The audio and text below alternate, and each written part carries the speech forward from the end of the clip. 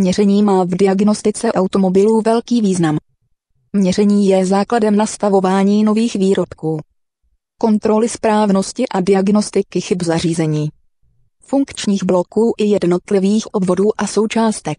Měřící přístroj se skládá z měřidla. Ukazatele, přepínače funkcí a připojovacích svorek.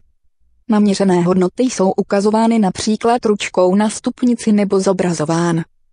A to číselně nebo graficky například na osciloskopu. Analogový multimetr Univerzální ručkové měřící přístroje se hodí k měření stejnosměrných i střídavých napětí a proudů i k měření elektrického odporu. Pro měření střídavých veličin stejnosměrných veličin a odporu mají univerzální ručkové přístroje často tři stupnice. Pro stejnosměrné veličiny je stupnice lineární v celém rozsahu. Stupnice pro měření střídavých veličin a odporu je nelineární. Digitální multimetr Digitální měřící přístroje mají podobné použití jako přístroje analogové. Používají se k měření střídavých veličin, stejnosměrných veličin a odporu.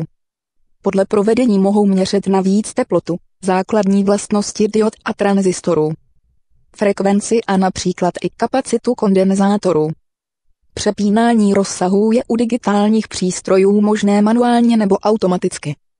Digitální přístroje snesou hrubější zacházení než přístroje analogové. Osciloskop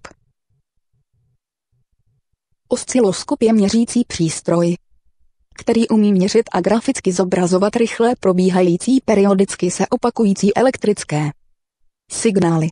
Například signály snímačů nebo průběh zapalovacího napětí.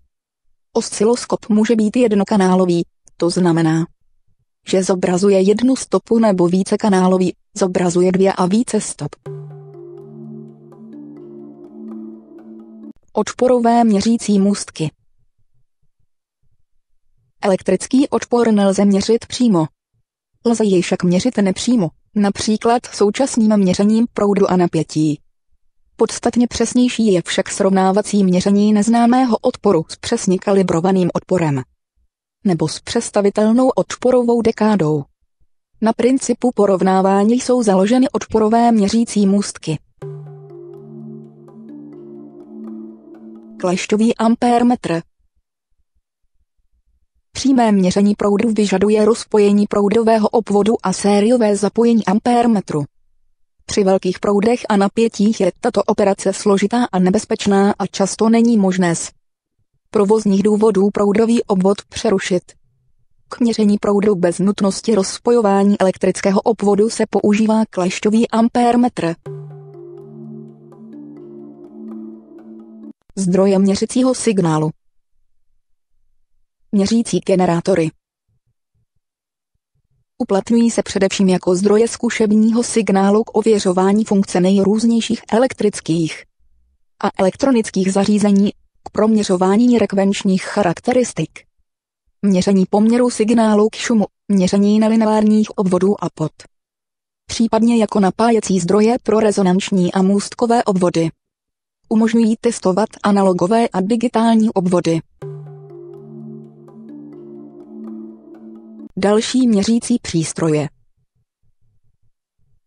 Dalšími měřícími přístroji jsou různé měřící sondy.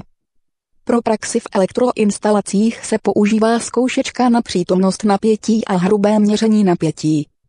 V číslicových systémech se při opravách a vývoji používá logická sonda.